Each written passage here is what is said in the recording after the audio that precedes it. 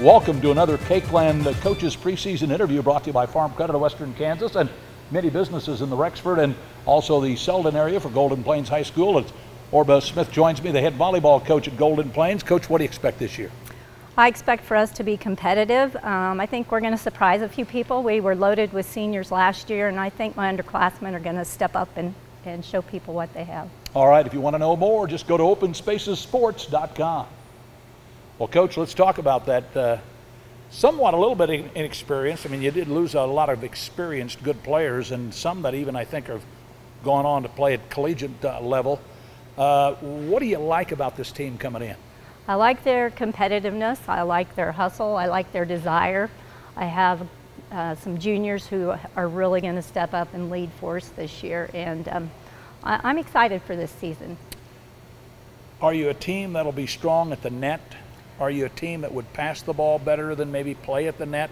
Does it matter? It, it could, it remains to be seen yet through the season, but we, we have shorter players than we've had in the past, but they're, they're athletic and they can jump. So again, I think we might surprise a few people. Now, you've been around coaching for, for quite a long time, and, uh, and of course you played yourself, if I remember correctly, but uh, what's the most frustrating part as a coach uh, is it is it the the serve that doesn't get over the net or goes out of bounds, or is it a drop ball that somebody should have gotten to? What is it? To me, it's a lack of hustle on the floor and inconsistency.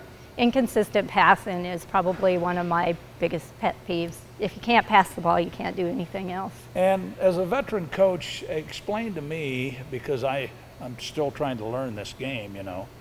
Uh, I don't know if I've ever been around a sport that has momentum swings like volleyball. Why is that? You said it, and I can't figure it out either. If I could figure it out, we'd both be rich. But uh, it, it's just it, it just depends on the mood of the girls, the mood of the crowd, the atmosphere. Everything plays into that, I believe.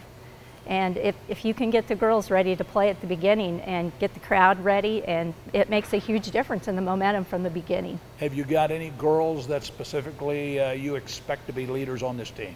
I really expect uh, Cami Miller to step up and, and lead. She's played varsity since her freshman year, as well as Kinder Rush. They've shown good leadership through the summer.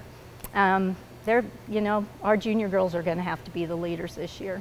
All right, listen, Orba, good to talk to you, and uh, we'll cover your team some throughout the Great. season, and uh, the best of uh, luck to you. Great, thank you, Rich. All right, Orba Smith visiting with us, the uh, head volleyball coach of the Golden Plains Bulldogs here in Rexford. Reporting for Open Spaces Sports, this is Rich Ed.